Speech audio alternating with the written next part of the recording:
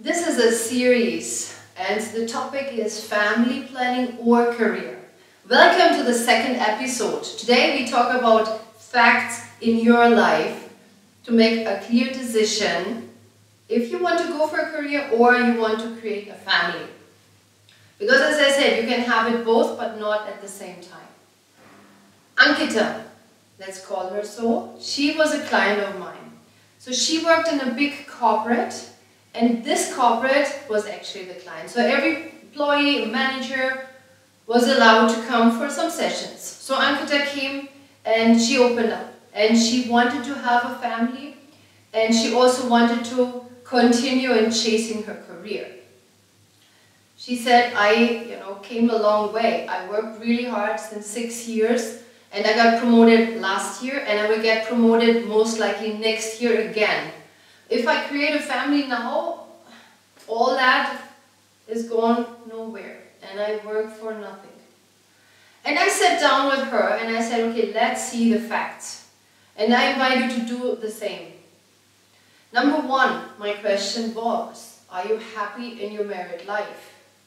Is that a person you are with? which you love and you also learned how to manage with each other. Because if you have a child, it will be an add-on. An add-on in terms of there are a lot of turbulences a kid can bring. It's about all kind of decision making for a child. And if you learn to deal with each other, you will have a easy life. Next point is your age. It's also a fact that biological clock is ticking. That is true. So if you don't want to have a child in the age of 45, you know, nor 20, so you have to find out when is the right time according to your age. So Ankita was already 36.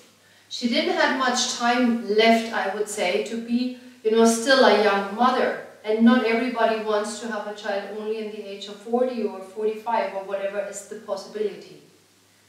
Another aspect in life, as a fact, is the financials. What are the figures? Is it doable to stay back, let's say, for three years and not having the second income or a reduced income? For this, what about your bucket list? Are you on the adventurous mode this trip or would it be okay now to be on the back seat for, let's say, at least three years? And don't get me wrong, life will not stop. You can do a lot with a child. It's amazing. And you can do it your way. But still there are some, some limits and restrictions, I would say. So are you okay at this point of your life to not follow your bucket list and do all the adventure trips or, I mean, whatever you had on your bucket list, apart from the career, what we are talking about. As I said, life will not stop, but you have to prioritize. And that's a very important point. The last but not the least point is about managing and planning the company. That means if you're an entrepreneur, you can sit with a business coach and realize what are the, the points right now which are existing and you can take care of. So let's say creating an automatic system in order to still run your show. If you're an employee, of course, you can make up your mind on, on your own, first of all. Of course, you should. But secondary, you can sit with your manager, leader, boss, and find out, create a plan to keep them in the loop as well. This was the second episode. Now the third episode is about how to create a support system. Because we all know you can do a lot, you're amazing, but you can't do it all. Not all alone at least.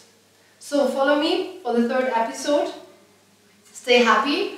Write me your queries. If you want us to help you as well, you see also the email ID written in the um, description. You can call us. There's also our phone number. And I hope I see you soon.